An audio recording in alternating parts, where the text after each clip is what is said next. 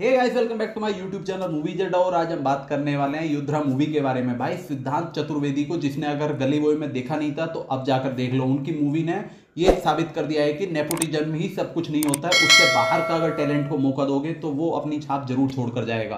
दो हज़ार उन्नीस में जब जोया खान की मूवी आई थी, गली बॉय, उसमें सिद्धांत चतुर्वेदी ने जो रणबीर कपूर के ऊपर भी भारी पड़े थे। भाई, जिस तरह से बंदे का एक अलग स्वैग था, उसे देखने के बाद लगा था ये बहुत आगे जाएगा।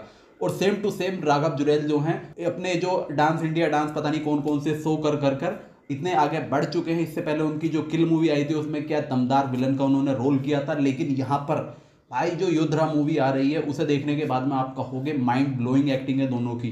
जिस तरह से इसमें एक्शन दिखाया गया है, मानो आपको लगेगा कि कोई मैं हॉलीवुड की कोई वेब सीरीज़ या मूवी देख रहा हूँ, क्योंकि इंडिया में इस लेवल का एक्शन नहीं चलता है।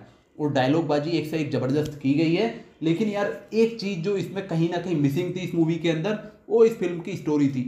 फ़िल्म की स्टोरी के अंदर सिंपल सी इतनी है, मैं आपको स्पॉयलर नहीं दे रहा हूँ, बस सिंपल बता रहा हूँ शब्दों में कि इस मूवी के अंदर है क्या। इस फ़िल्म की कहानी की अगर बात करूँ तो सिद्धांत चतुर्वेदी को इतना ज़्यादा गुस्सा आता है और वो अपने गुस्से को कंट्रोल नहीं कर पाता और बहुत ज़्यादा मारधार करता है। जिस कंपनी में वो काम करता है, वहाँ भी उसकी बहुत ज़्यादा लड़ाई होती है और बोलता है कि, तुमने क्या मुझे अभिमन्यु समझा था? उसका बाप अर्जुन हूँ मैं। तो भाई इस तरह के डायलॉग बाजी से कुछ लड़ाई धड़ाई शुरू होती है और बहुत एक्शन उक्शन दिखाते रहते हैं, लेकिन लास्ट तक पहुँचते पहुँचते उसमें एक उनके पुलिस ऑफिसर मिलते हैं, वो भी आपके जाने माने एक्टर मिल जाएँगे उसमें और वो बताते हैं कि भाई तू इतना जो एग्रेशन यहाँ दिखा रहा है ना, उस एग्रेशन को दिखा गुंडे मवाली पकड़ने में, जो ड्रग डीलर हैं, उन्हें पकड़ेगा तो बहुत ज़्यादा तेरे लिए सही रहेगा और फ़ायदेमंद भाई फिर क्या है, वही पुरानी मूवियों की तरह वो लग जाता है उन्हें पकड़ने में और अपना एग्रेशन जो है पूरा उन दुश्मनों पर उतार देता है।